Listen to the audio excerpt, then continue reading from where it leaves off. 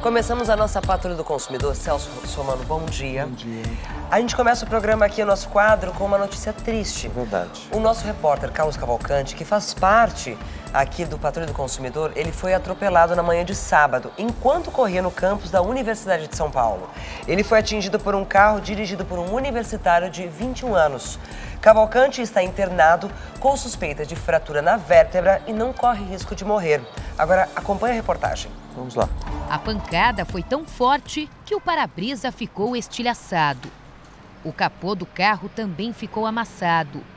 O repórter da Record TV, Carlos Cavalcante, foi atropelado na manhã deste sábado, dentro do campus Butantã da USP, Universidade de São Paulo. Carlos Cavalcante estava correndo por aqui como costuma fazer todos os finais de semana. Ele estava bem próximo à calçada, quando, segundo testemunhas, o motorista, que vinha desta direção pela faixa da direita, acabou invadindo a outra faixa e atropelou o jornalista, que caiu exatamente aqui. O repórter foi socorrido para este hospital. Ele teve dois cortes na cabeça e ficou inconsciente por cerca de uma hora. Está passando por exames, né? No 91 DP foi aberto um boletim de ocorrência por lesão corporal culposa. Já tem a requisição para o IML. É, já tem requisição para o IML para que ele possa estar tá fazendo os exames de corpo de delito.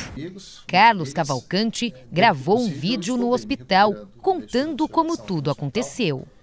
E o acidente aconteceu dentro do campus da Universidade de São Paulo, quando eu estava correndo, fazendo uma atividade física que é comum no meu dia a dia, e eu acabei sendo atropelado pelas costas.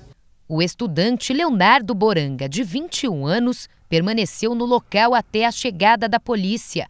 Ele foi levado para a delegacia. Segundo a polícia, o motorista passou pelo teste do bafômetro, que não acusou embriaguez. Ele prestou depoimento e o caso foi registrado como lesão corporal culposa, quando não há intenção de atropelar. Um inquérito foi aberto para investigar as circunstâncias do acidente. O motorista foi liberado e irá responder em liberdade.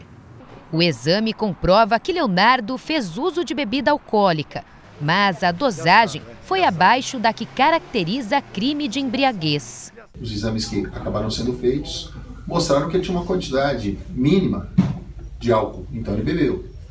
Então acho que quem se compromete a usar álcool, seja que quantidade for, não pode dirigir. O repórter Carlos Cavalcante continua internado, mas fora de perigo. O jornalista ainda não tem previsão de alta. Estou internado aqui no hospital com uma fratura na vértebra e bacia, né, machucado, né, comprometimento na bacia. Se Deus quiser, logo logo nós estamos de volta aí. É o que a gente espera. É, a gente espera que ele fique bom logo, volte logo para defender os nossos consumidores aqui na Patrulha do Consumidor, é é verdade? isso mesmo, melhoras Cavalcante, a gente quer logo de volta aqui ao programa.